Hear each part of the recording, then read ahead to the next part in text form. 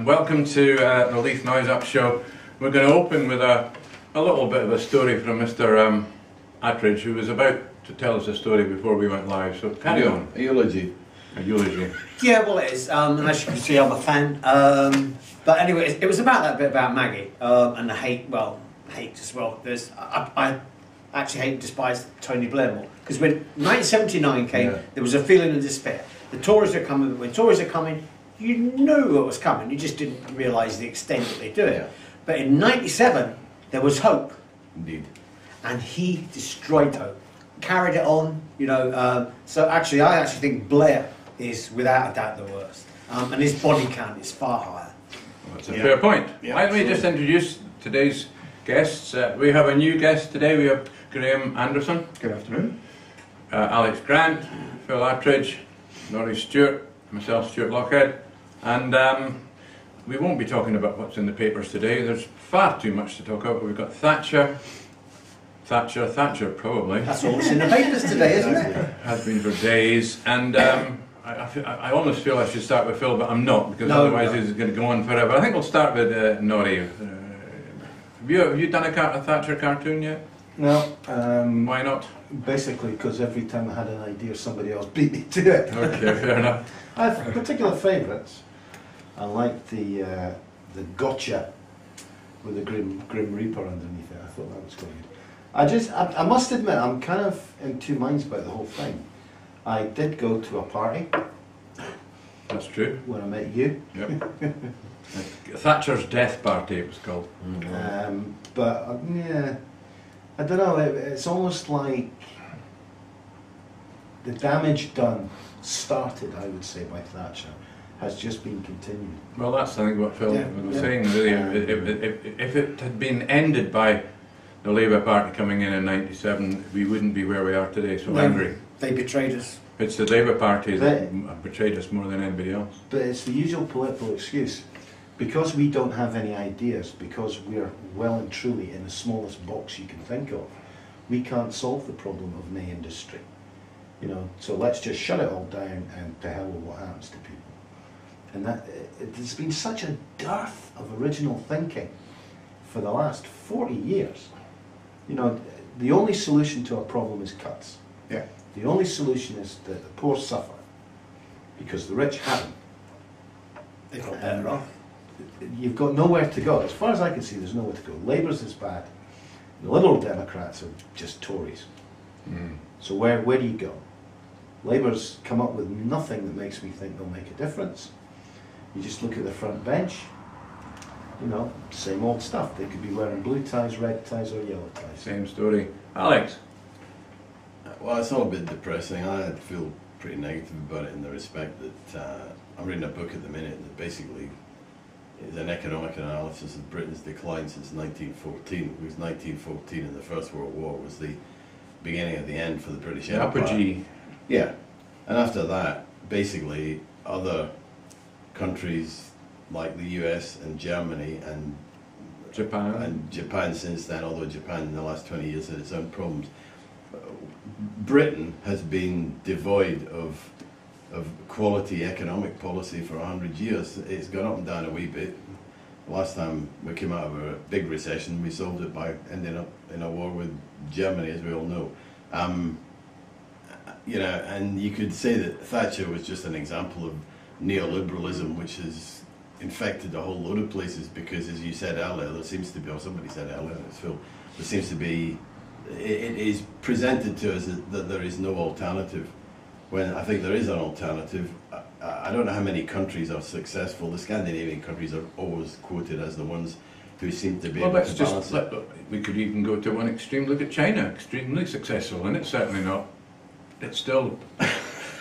You see, he's going there. Well, it's extremely successful in one respect, but I think the, there's a potential explosion about to happen because, you know, some of, I read the other day that the Yanks have started making washing machines again because the, the, the Chinese middle classes are now looking for proper salaries. So all, all, of, all of a sudden, you know, transporting washing machines from China to the US is, is, is not economically possible anymore. So watch this space where China's concerned. Well, there you go. But- But- yeah, but- but I mean- but- okay, before I bring somebody else in, can I point out one thing that, let's go back to Thatcher.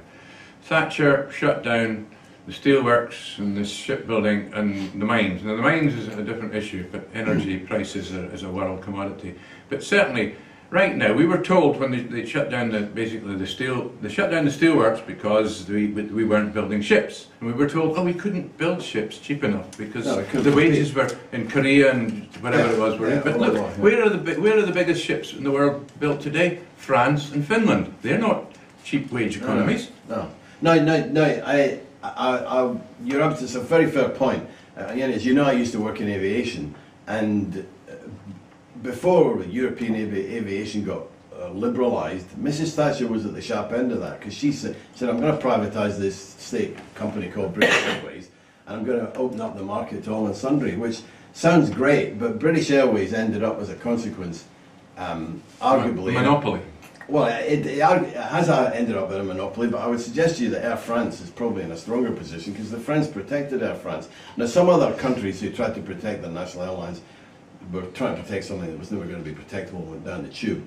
But, you know, Mrs. I can remember Mrs. Thatcher pointing to two things uh, at, at, at her in her heyday. France was a socialist disaster about to happen, and so was Sweden, by the way. Sweden, just watch Sweden. Sweden's got, got a hell in a wheelbarrow. I would, I would invite anybody watching this to go and take a weekend in Stockholm and see how bad Sweden is. Because Sweden is probably the best place on the planet in terms of general well-being and everybody being happy. There's nobody selling the big issue, and they're all they're all good looking as well. But that's just like that's just that's just, that's just annoying.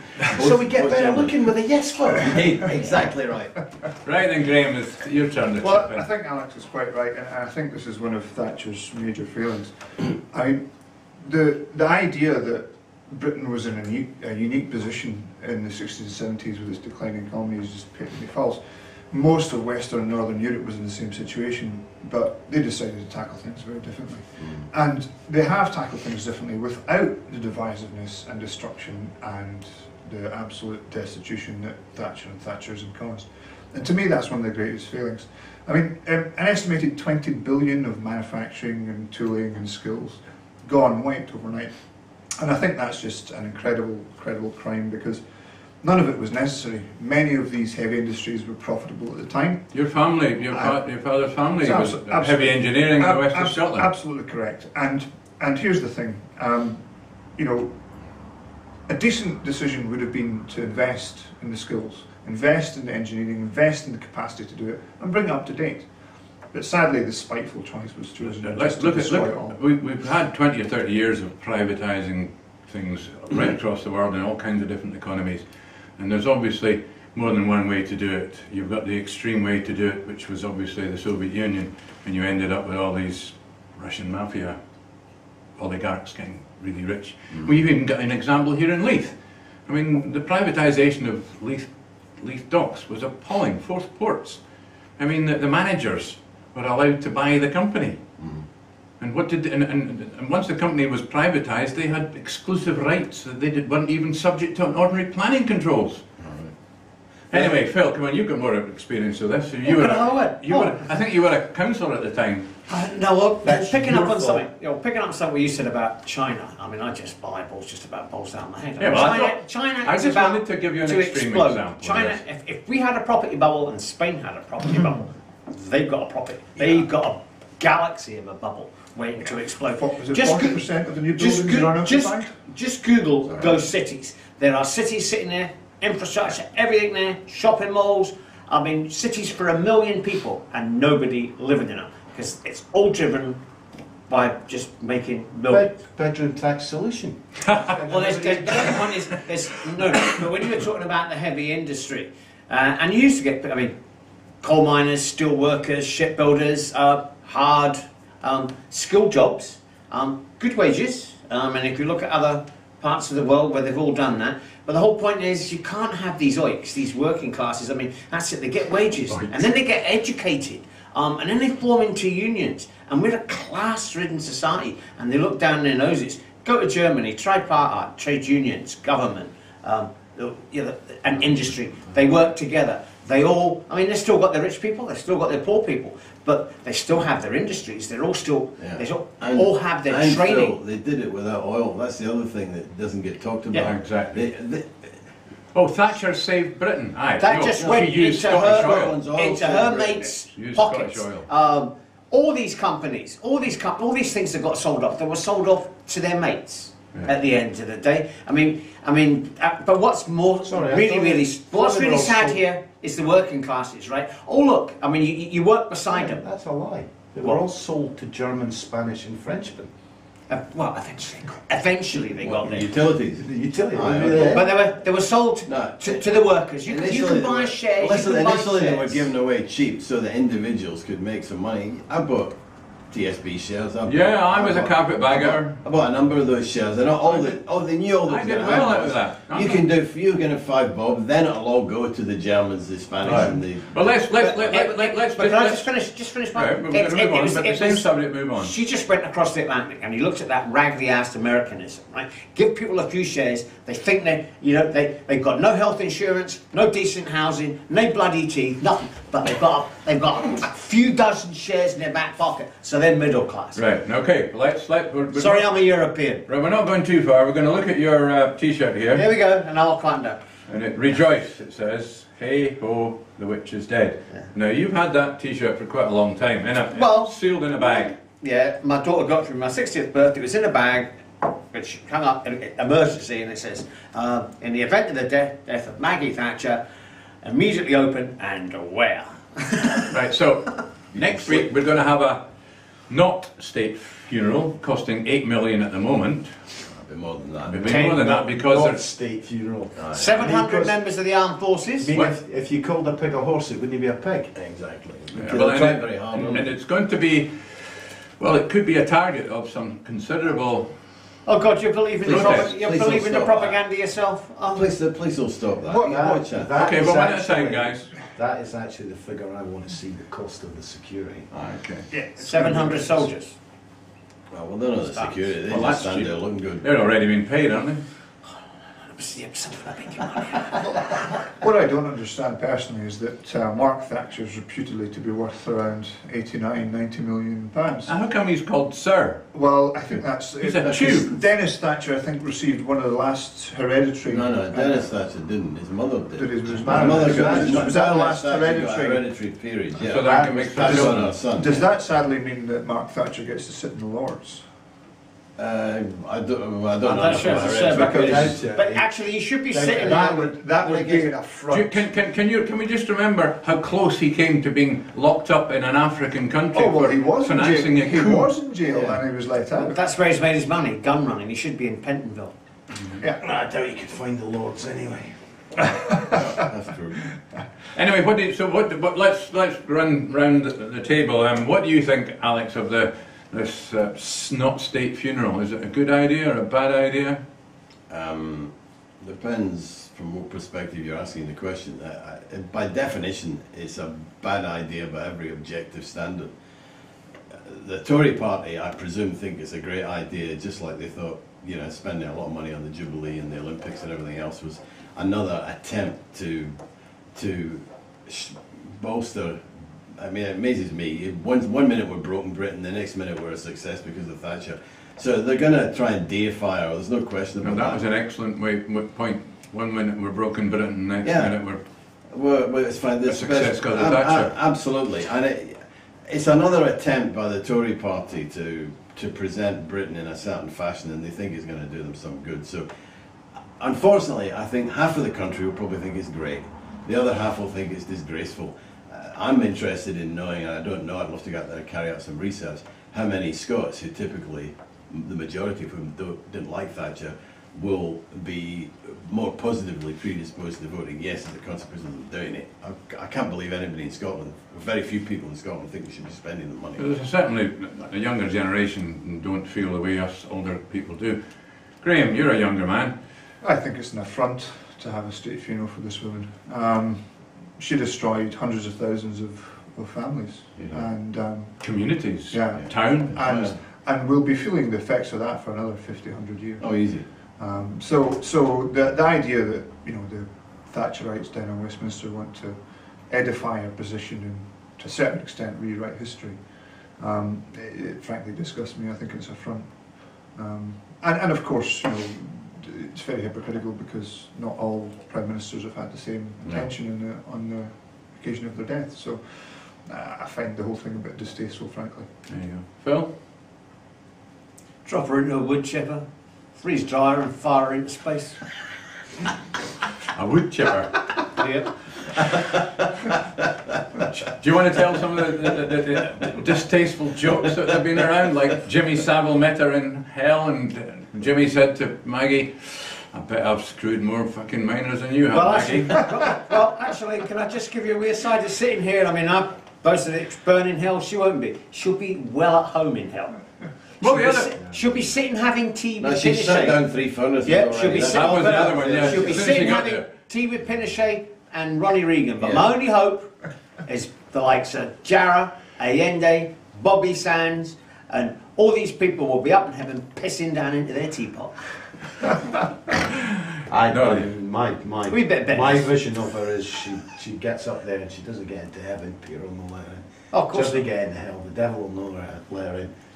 But Lenin and Trotsky let her into the socialist utopia. That's what I like to say. And uh, union membership's compulsory, Maggie. Well, that'll work. Right I then. just I, I find the whole thing Right, wait, Oh, it's so ridiculously Is anybody got anything else they want to bring up today? No, it's Maggie, Maggie, well, Maggie. Well, yeah, yeah. Um, actually, it was yesterday's um, kind of 99% fawning in Parliament when they Well, were that's all a- came well, back. well, that's um, and all I can say is, thank God for Glenda. Yeah, I thought she did her Glenda contract. Jackson. Glenda Jackson. Yeah, I mean, this is it. She's under orders from um, Millie Panda, um, and that was it. Straight in there, you know. She just left kid. her nameless. Yep, yep. Yeah, I did think it, I did think it was a bit of a joke, though. I have to say, when when she, who represents Hampstead and Highgate, was talking about the the poor people in her constituency who had been Glenda done- Jackson. Oh, I had been done in by Thatcher. I thought, mm, interesting, because I actually don't like Glenda Jackson. I think she's just a lovey. Oh, yeah, very much so. 'cause- But, but I just thought it was a joke. If Well- she was if she was from Rotherham, it would have been some residence. But Well, can I give you- Hampstead and Highgate. a wee anecdote about that. Um, it goes back to the Ken Livingstone and uh, the the. Well, he was good. He couldn't find any no, no, but when when the Labour Party dumped Ken Livingstone and didn't want him to be the, The mayor, mayor. Yeah, yeah. Um, and then uh, my mum's always been a Ken Livingstone fan and all her pals, right? Because he was their MP in Yeah, Brent. yeah. Um, and I go down. I says, "Well, what's the matter with Frank Dobson, mum?" And she says, "Doesn't want the job." And I says, "What about Glenda Jackson?" She says, "She can fuck off back to Hampstead." Well, that's understandable. and there's all these seventy-odd-year-old ladies sitting. Hey, hey, when Ken won, Uh, It's brilliant. Was what's his name there? Skinner. Skinner. No, no, he was No. one of the No, men they they stayed away. who wouldn't I, go. I thought he might turn up just just to have a dig. I, would, I guess he, yeah, it must have been quite difficult for the likes of He's of had a him. dig in print. I'm sure he has. Aye, I saw that. but I'd like to have had him because he would have given it full throttle. I believe the SNP threw a, a few buckets of mud. Well, Angus Robertson was Oh, yeah, pretty Just, good. there was He just said- Angus Robbins, the rest of them didn't no, show up. think- no, no, so it was only Angus Robertson who spoke. He He's spoke just- for, for, for the SNP in Plaid Cymru, and he said, I'm very sorry for all our friends and relatives, naturally, but you know we'll never forgive her in Scotland for the poll tax, in uh, Scotland and Wales. So he, he he stuck the knife in with some finesse. He didn't go over the top. He couldn't be accused. He didn't go as far as Glenda Jackson because they were starting to go, yeah, but he sucks to Glenda Jackson. But but he made the point quite well. Well, there was two things for me yesterday about this recall to Parliament that particularly struck me. The first one was that um, uh, the fact that MPs are recalled at the taxpayer's expense. Up to three thousand two hundred fifty quid. Yeah, you know, where where they could where they could easily have just turned up before the funeral next week, and the taxpayer wouldn't have had to foot the bill. The second thing is that the opposition side of the chamber was absolutely empty, um, and I think that um, totally blows out the water any Thatcherite and Tory ideas that this was the, the great prime minister she was, because frankly, if the chamber's half empty, then I think, you know, I think, in all fairness, she was a great, a great Tory prime minister. The fact, Oh, yeah. the fact that her system failed, um, which is, I mean, it, it's part of the game, isn't it? You know, okay, sorry about the banks. Um, damn. Oh, Wish Hitler was a great. happened. Yeah. Oh, we've no council housing, bedroom tax. You know, a lot of that can be can be sourced back to her. Exactly. I mean, selling off the council houses wasn't a bad idea, but not allowing them to spend the money to Well, build new ones was a I- bad idea. I have a complicated question for you then, and it, it, it was a good point made by a Tory on Twitter. There's a housing shortage, but people are still living in the houses that were sold. So what in effect happened was it was an excuse not to build. Ah, it was, that's right. That's what happened. That was the mistake. Not particularly that they sold off the stock; they just didn't replace it. No, that's my point. Ah, well, it It wasn't, It's it illegal a to mistake. replace it. It wasn't a mistake. It was a policy because she she believed what council housing is a is a contradiction. You shouldn't have it, and Tony Blair came in and followed it. But that, I mean, the point the film made, I mean, I, I remember when it came out thinking, right, the councils have got money from this stock, why can't they build? It's illegal. You know? That was I mean, a why deliberate make policy. That, That was Why make it illegal? Because there's no way. I mean, I think it was, at the time, you had to sell four council houses to get the money to build one. Well, you would have Well, that done. was So they would it sold only a have replaced 25% of the stock. Oh yeah, you're getting sweeties. You're getting Yeah. seventy percent um, off a council flat, um, and you were getting around thirty percent off a house. I thought it was even Oh, more than that. oh, it was better than that. No, it was more than thirty I percent. mean, I Oh, know it was- it people. was- I know people that have bought properties worth eighteen, ninety thousand for seventeen thousand. Oh yeah, but that, that that was when you started off when you just qualified. Oh, right, right, you were there. right. You would get thirty, but the longer you had been there, the Oh, yeah, percentage okay. would. Well, here, would go okay, up. so I mean, what, what else was the, the, the Thatcher's legacy over the years? Well, there's the huge unmitigated welfare bill that she caused. Well, she, she, she used North Sea, she used the money from North Sea Oil to shut down all these in, manufacturing businesses, and then she disguised the, the size of the unemployed by moving people onto in, Central incapacity The benefit. central belt of Scotland went from almost full Moved them into employment ca- to 20% incapacity benefit, and now, That's and now these, pe- now these people are called skivers, Yeah.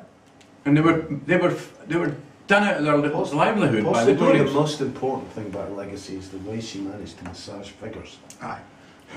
Also, but as well, Five it's, million, she managed to make it look like three and a half. Yeah. Yeah. but Sue said done two, it two, to two, two, incapacity. two phrases she said right, um, which is why when you get complaints as I've had about the terminology using which with great delight on on social media, like you know, and, and, and I thought I was being laid back about throwing her in a wood chipper. Actually, I was being quite nice. Um, I'd have done it when she was alive. Um, but well, she used those phrases. There's no society, right? So mm. there's no society. So Yeah. there's no societal mores. So I can do what I like to her, and I Yeah. drop her in a wood chipper feet first. Exactly. right? And also as well, this whole the, the enemy within, exactly what she is and her class, the enemy within our society. And unfortunately, they are I now I like to hear a class warfare. Anyway, they're now they're kind of now in charge, and we, Scum. we, we shall return to this next week, gentlemen. It's been a pleasure having you here today, and thank you very much for being here. Can I just apologise to Scum? Yeah.